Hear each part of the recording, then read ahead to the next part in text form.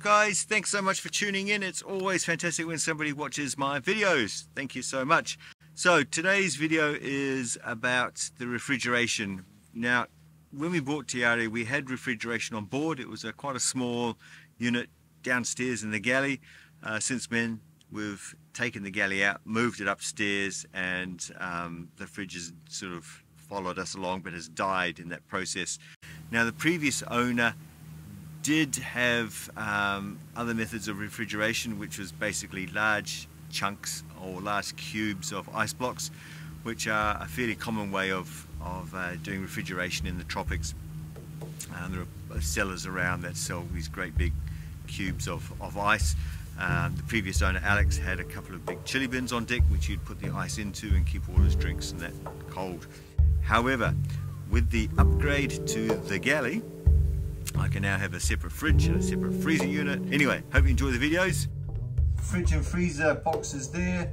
The Engels, and there's a lot of don't do this and don't do that. That's what I need.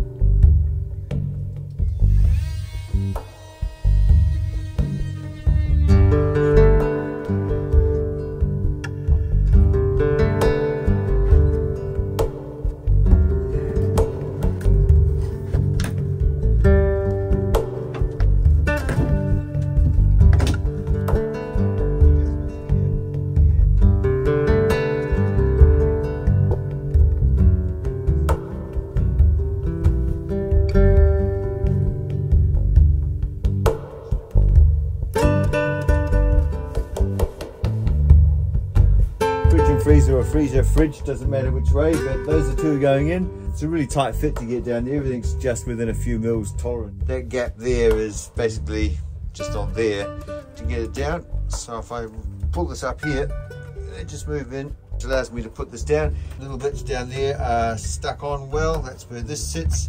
This all here is um, aluminium on here. That's aluminium plates. As I said, this here is a piece of rubber for some sound vibration insulation. There's another piece of rubber there.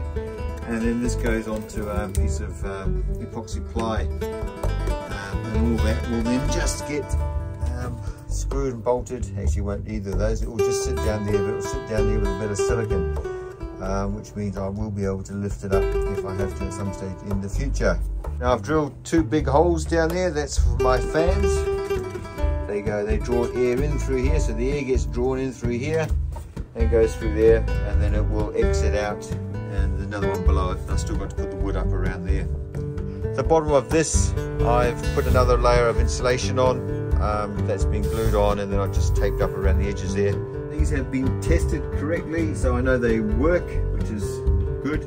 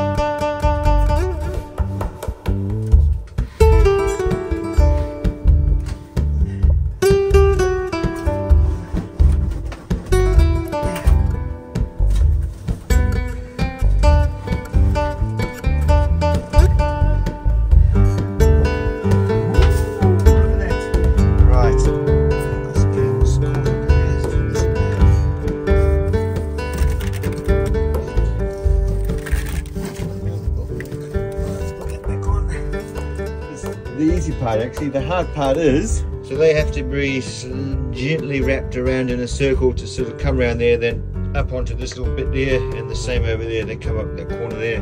Those two lines there that little line there they're supposed to line up and they they do line up. Well it's going to go one way side that's okay. But they line up with those uh, those two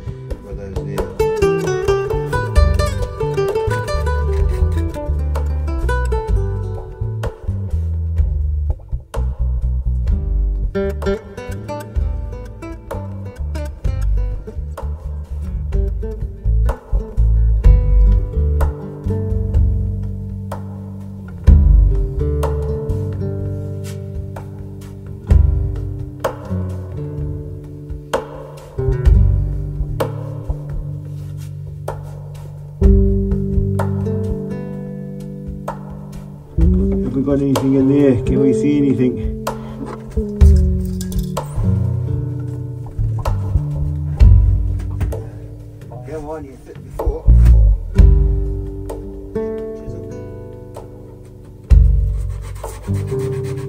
Alright, she's in, but sitting up a little bit proud just there. I think that's because the pipe's pushing it back up again.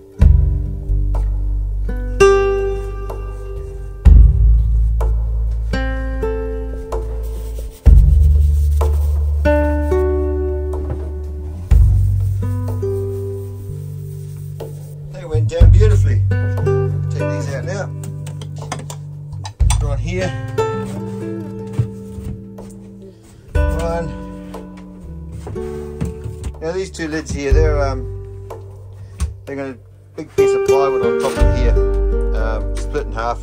So one side, two side, but that's a project for another day. I just need to get these in here get them out of the way so I could wire them in permanently and I can finish off the electrics. That's pretty much the last of the electrics I have to do, just getting these fridges in, other than the solar, but that's another mission. Um,